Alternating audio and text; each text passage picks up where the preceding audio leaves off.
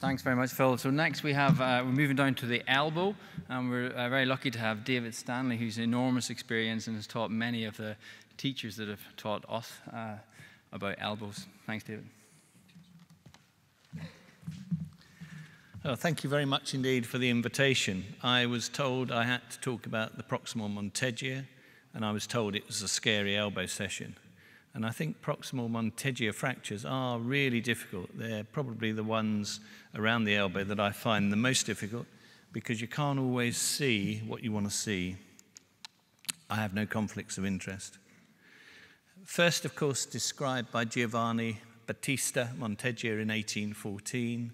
They're uncommon injuries, and that's part of the problem because we don't see them very often. We worry about them and, and we regard them as difficult to fix. They make up 7% of all ulnar fractures, but less than 1% of elbow injuries themselves.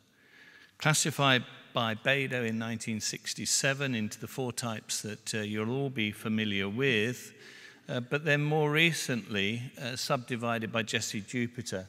And this classification really looks at uh, the site of the ulnar fracture and the complexity of the ulnar fracture. So if I was going to try and give you three tips, it's on these next three slides. So if you can try and uh, stay awake to look at these, that would be really good. Uh, the first thing you need to know is that when you're looking at the injury itself is you need good quality x-rays. And if you haven't got good quality x-rays, you need to do some CT scans with or without 3D reconstructions.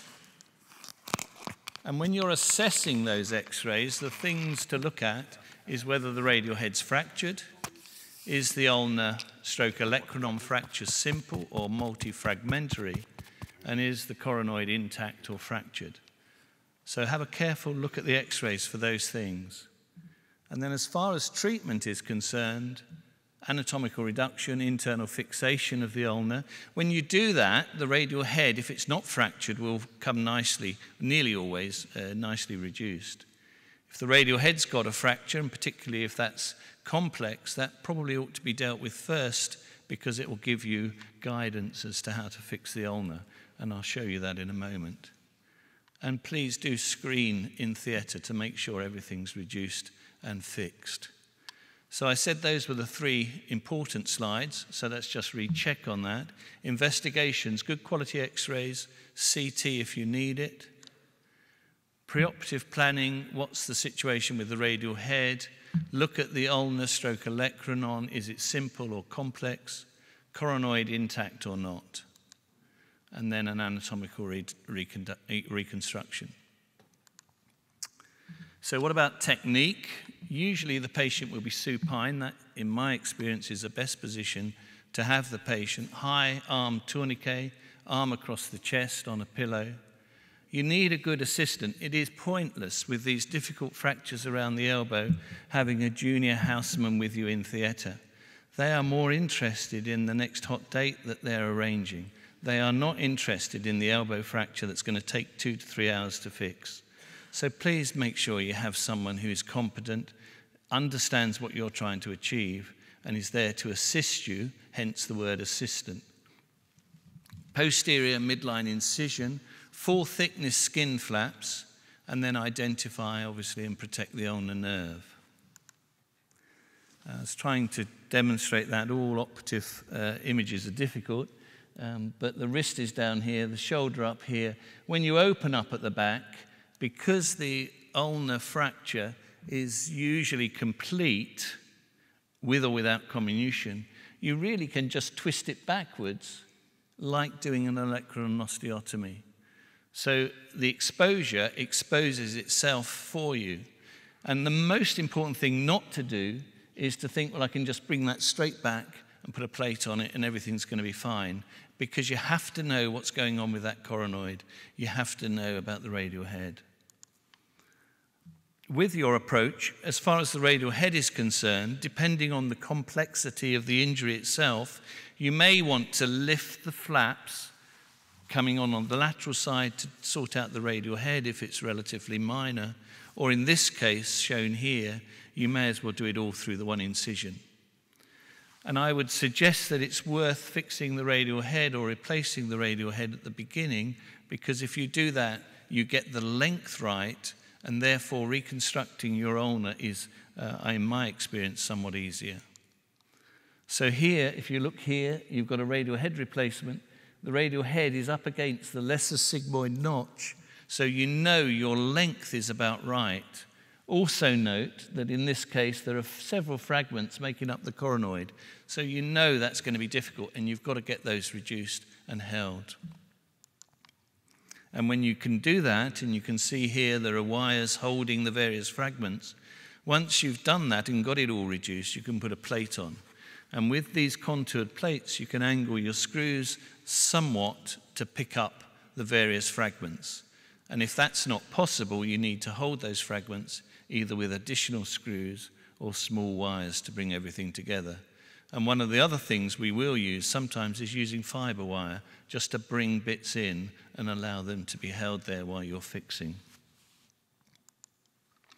And then when you uh, follow those sort of uh, principles, you can convert the x ray that's on your left into the reconstruction on your right. Rehabilitation, we usually put patients in a back slab at 90 degrees for about a week. There's nothing special about that except we find it useful to allow the soft tissues uh, to settle. I would prefer that than going for early movement. Early movement isn't essential, but going for early movement and having the wound break down will be a greater problem to you. And then instead of using any fancy braces, we just use a collar and cuff sling and allow flexion and gradually over a period of eight weeks or so, six to eight weeks, gradually allow them to come out into greater extension. And then at three months, they can begin uh, strengthening exercises. We're looking for at least a range of flexion and extension of 100 degrees because that will give you a reasonably functional range of movement and you want about 50% of the normal pronation and supination. And if you look at uh, the literature in the 1980s, really less than a quarter of patients with these injuries had anything like what you would call a functional outcome.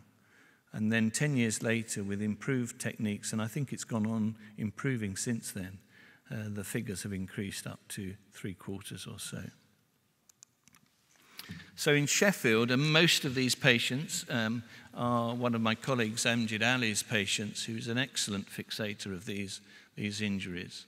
So we had a total of 26 patients that we tried to review. We'd lost four uh, as they'd moved away. More women than men, average age below, just below 60. Radial head replacements, we found that we had to replace 10. We fixed five, and uh, we had seven that were either not fractured at all or had minor fragments which we removed.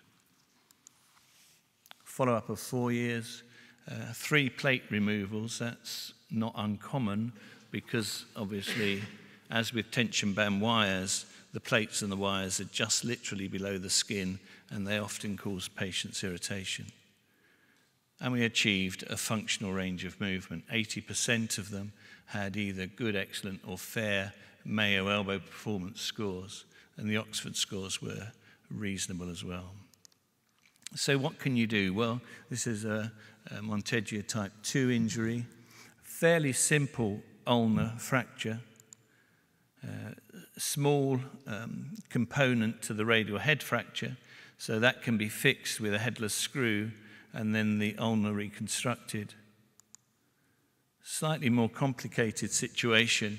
And these, I don't know why, but we often do seem to get uh, patients referred in who've had fixators put across the elbow. Personally, I think that's uh, uh, pretty much a waste of time. I would prefer to have the patients early rather than have uh, an early intervention with wires and screws.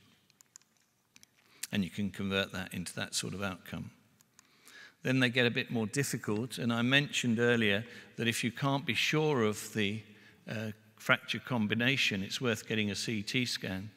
But usually, when you get a CT scan, it scares you more than you thought it was going to scare you.